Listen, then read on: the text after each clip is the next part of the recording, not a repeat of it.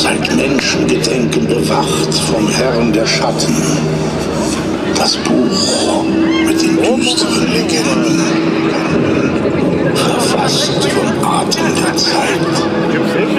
Nur alle tausend Jahre wird den Sterblichen Einblick gewährt, auf was die Botschaften